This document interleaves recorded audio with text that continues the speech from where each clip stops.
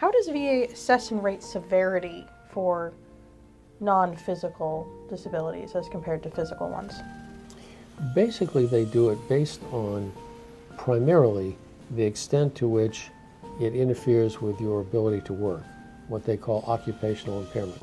But they also consider what they call social impairment, meaning your ability to maintain effective relationships with others.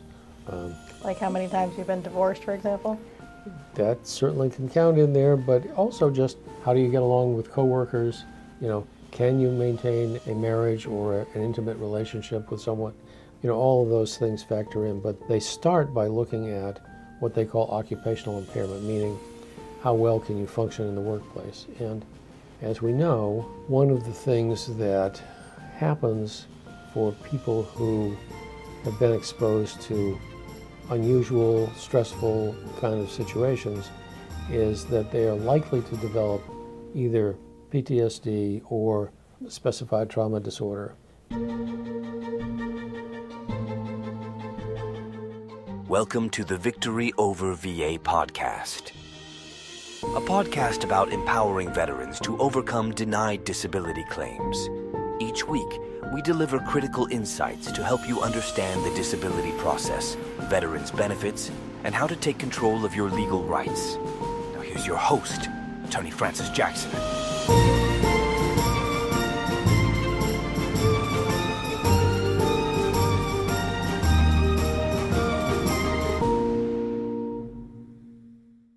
Welcome to Victory Over VA, your guide to unlocking your VA disability benefits.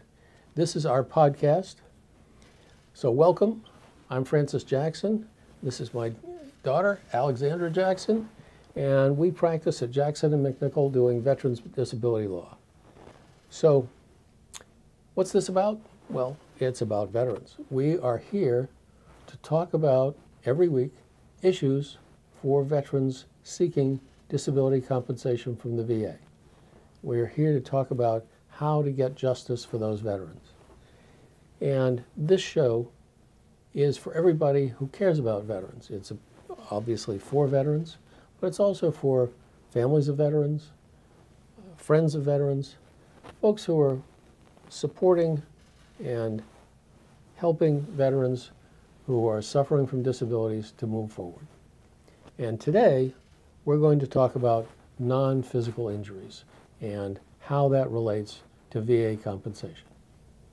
To start with, can you just sort of clarify the scope of VA disability benefits as far as covering conditions that aren't just physical injuries? Sure. VA disability covers all disabilities, physical, mental, whatever they are, that are connected to service for those who served honorably in the various branches of the military in the United States. So the specific kind of injury doesn't really matter as long as it results in a disability and we can tie it back to the time in service. Okay. How does VA differentiate as part of their process for you know evaluation because you got to tell them something right? You have to claim a certain thing. You have to make a claim and you have to tell them what you're claiming. But in terms of differentiation really the differentiation comes in how they use different processes to evaluate the claim. So for example if it's a mental health claim they would have it evaluated by someone who's a psychologist or psychiatrist or mental health specialist, whereas a physical injury would be more likely to be evaluated by someone who specializes in physical medicine, like um, an orthopedist or perhaps a neurologist. Just depends on the, the nature of the injury. Okay. What are some of the common misconceptions about eligibility of veterans who have non physical disabilities for disability benefits? Well, I think the most common one is that those folks are not eligible. So many people who have been in the service are exposed to events that are outside the norm and result in either a what, what would be characterized as a mental illness like PTSD or depression or anxiety, or suffer from things like a traumatic brain injury that are not clearly physical injuries, even though uh, with TBI, for example, the, the underlying cause is physical, but, but the symptoms are not uh, as directly physical. Okay. Can you give an idea of the spectrum of mental health conditions and kind of TBI, things that manifest in ways that you can't just look and go, yeah, that's broken, Sure. that VA recognizes? Sure.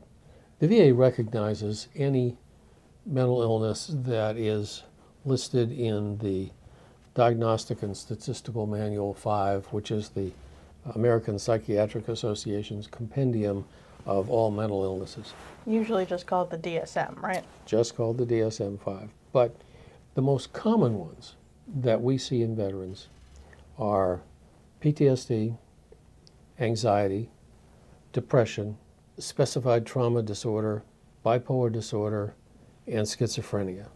There is also the traumatic brain injury, which is not technically a mental issue, but has mental function manifestations of this physical injury to the brain.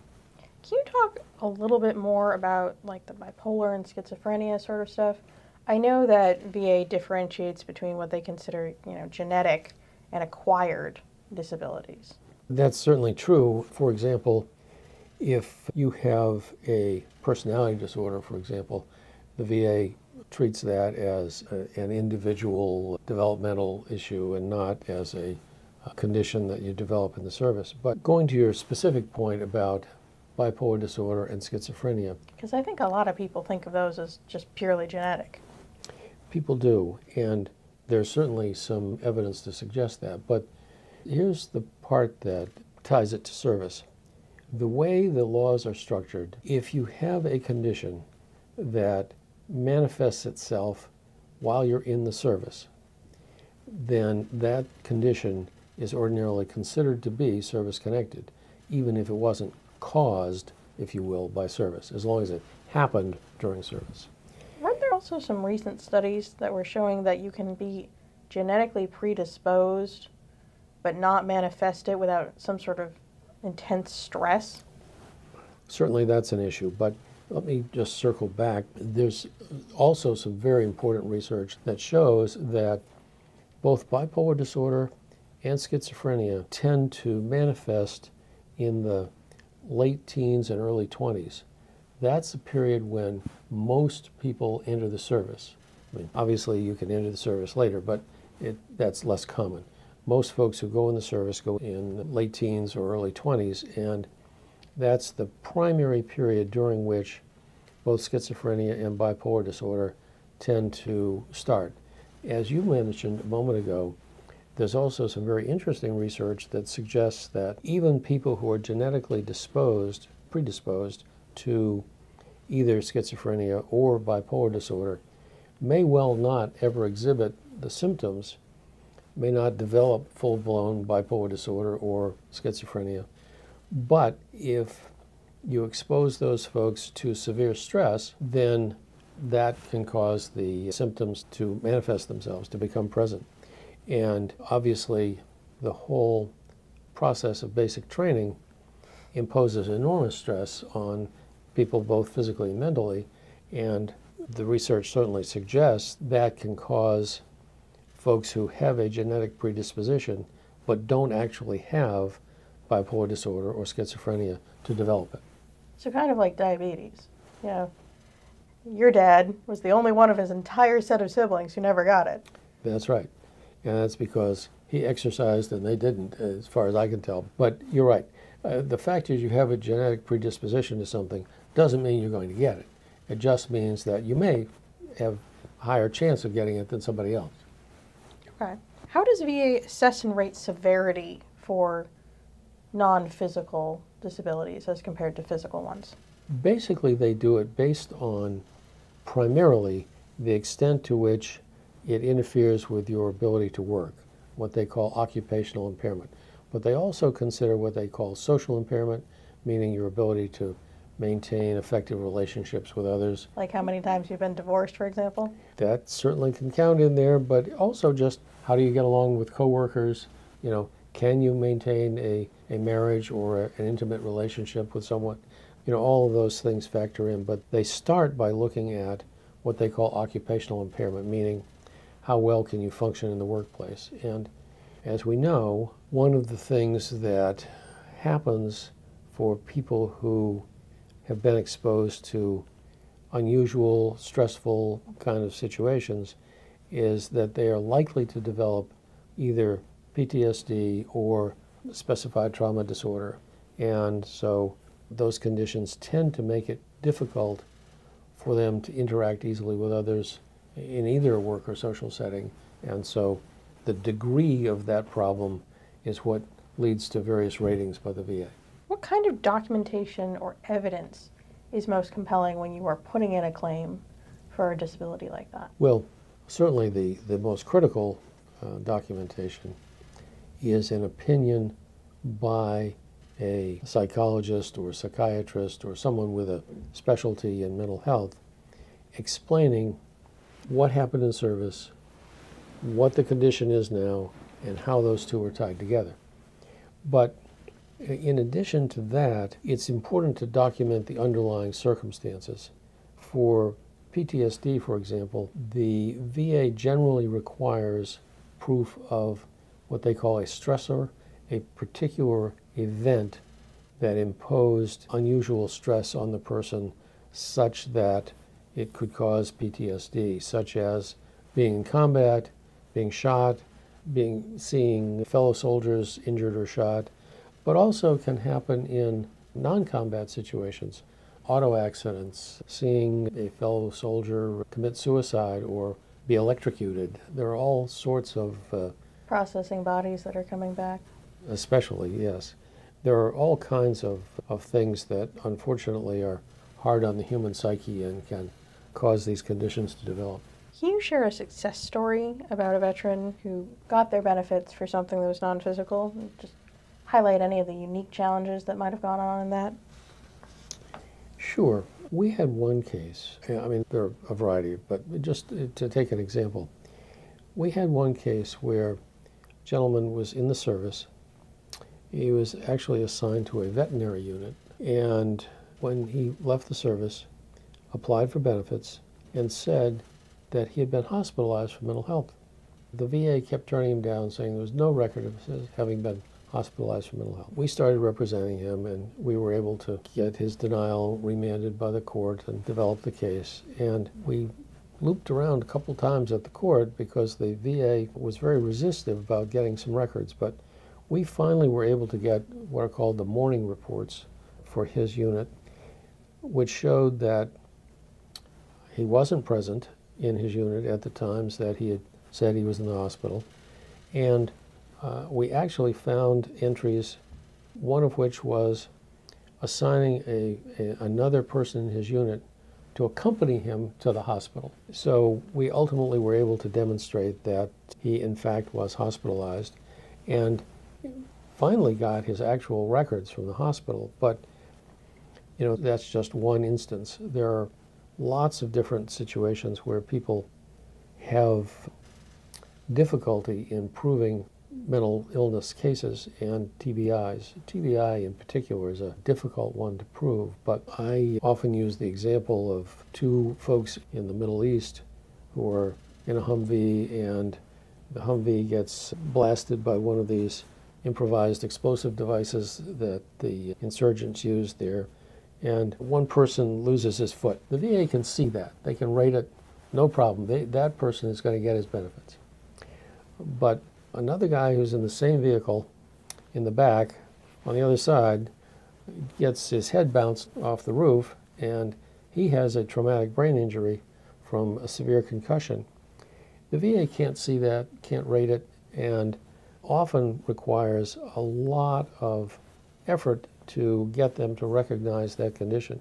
Usually, you have to have neuropsychological testing that shows particular kinds of brain functions are not working properly and that they're consistent with a blow to the particular part of the head and that sort of thing. But it can be done. It's just those can be a challenge. And how does the VA approach conditions like PTSD, anxiety, and depression in their evaluation process? Well, they, they have a fairly straightforward approach to it. They look at the circumstances and they, uh, generally speaking, will get a, an evaluation by a psychologist or a psychiatrist and ask that person to evaluate whether the condition is present and if so, whether it's related to service. And that's their baseline for approaching those cases. They get an evaluation asking, what's the condition is it related to service? What if you've got multiple diagnoses or you've got different diagnoses from different people? That happens a lot actually. But what is Kind uh, of like the foot. It's a little less easy to tell which it is. Kind of like that. Yeah. What happens in a lot of cases is that people have what if you kind of try to break it down by specific diagnoses, they have either intertwined or overlapping, if you will, diagnoses. It's pretty common for people to have both PTSD and depression, or PTSD and anxiety, or anxiety and depression. A lot of those things just seem to have kind of overlapping symptoms, if you will. But the short version is that the way the VA is supposed to approach those cases, and, and usually does, is to look at the symptoms. And if the symptoms match up to a recognized diagnosis, then the next question is okay, is that diagnosis related to service, and if so, how? But they can have a situation where some diagnoses are related to service, some are not, and still have the entire constellation of symptoms be recognized by the VA as a service connected disability and compensated. Why?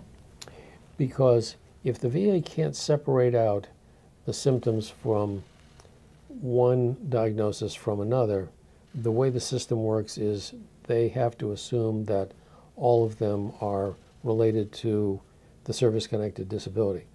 If, on the other hand, the examiner is able to kind of parse out, well, these symptoms are related to this condition, these are not, this condition is related to service, this is not, then the VA can compensate only the ones that are service connected. But in mental health, it's challenging to separate them out neatly into one diagnosis or another in most cases. What if you make a claim and you screw up, you put the wrong thing or whatever? Well, that's not supposed to make a difference anymore. For, for many years, the VA would approach mental health based on the diagnosis that the veteran claimed. So, for example, if you made a claim for PTSD, but the examiner said, eh, you don't have PTSD, you have depression, the VA would stop there. They would say, oh, you claim PTSD, you don't have it, go away. The court a few years ago, in a case called Clemons, basically said the VA can't do that. That it's not up to the veteran, who is not an expert in mental health, to decide what the correct diagnosis is. It's up to the VA that has experts to decide what the correct diagnosis is. And the diagnosis, in some ways, is secondary. The question is what's the constellation of symptoms, and is that constellation of symptoms a mental health condition that's related to service, regardless of the diagnosis? But it matters with PTSD, though, right? Is It there does. specific criteria that vets with non physical disabilities have to meet to establish connection to service? Only for PTSD. The service, sorry, the Veterans Administration treats PTSD differently than other mental health conditions. They require evidence of a particular stressor which caused the PTSD. There is, however, a significant exception for folks whose claims for PTSD are based on a personal assault of some sort, sexual or other physical assault, then the VA will also look at kind of secondary levels of information. For example, you know, was this person performing well before this incident and then their performance suddenly deteriorated? Or was the person doing fine and then suddenly started drinking heavily? They will look at these kind of surrounding circumstances as evidence of PTSD in those kinds of cases. Are there any situations where VA just assumes you had a stressor? Like it's presumptive, kind of? Really, only in combat. If you were engaged in combat with the enemy, that, that's considered sufficient. So, if you were in Vietnam and you can show that you were stationed at a particular base and the base was subject to a rocket mortar attack, for example, by the Viet Cong, then the VA will say, okay, that's a sufficient stressor, and they will move on to looking at the claim on the assumption that there's a sufficient stressor. How does the appeal process vary for claims centered on non physical versus physical disabilities? The appeal process really doesn't vary. It's a question of the evidence that varies. For non physical injuries, the evidence is going to be psychological evaluations, psychiatric evaluations, that kind of, uh, of evidence, plus evidence of symptoms, um, observations by people around the veteran about their depression or anxiety or irritability or difficulty getting along with others, rather than in physical cases where the observations are going to be complaints of pain, difficulty lifting, whatever it is for the physical uh, kind of symptoms. Are there any common pitfalls people make when applying for non physical disabilities? Yeah, there are two really big ones, I think. One is a failure to get appropriate documentation, medical documentation from a physician or psychologist linking one or more events in the service to the current disability. That's one. The other is that people often fail to explain what actually was going on in service that led to the problems. It's not always readily apparent from reading someone's service records what kind of uh, events were going on around the person that caused them depression, for example, or anxiety. And so it's important to explain and develop that just as it's important to have good medical evidence. How does VA handle claims stemming from traumatic experiences or moral injuries that might not manifest at all physically? I know there's been some really interesting studies about being in the service and racial issues. So basically constant hostile work environment. Yeah, those are always challenging cases. In fact, as I remember, you won one for a gentleman who had been subject to racial animus in the service, a Hispanic gentleman, and he was in the service in the 50s, as I recall, and took years and years for us to get to the point that he finally uh, was granted service connection. But it's in his 90s, in fact. Yeah. He'd been applying since, you know, the 50s. Yeah. It's tougher to prove those. I mean, that's just the reality. But as you demonstrated in that case, it can be done. It's a question of marshaling the, the evidence and getting good reports. How crucial is continuous medical documentation, therapy records, et cetera, if you're going after this sort of claim? Well, I see we're running out of time, so let me try and answer that quickly. It's really helpful to have good documentation showing that the condition has progressed over time or has been present over time. But that's not critical.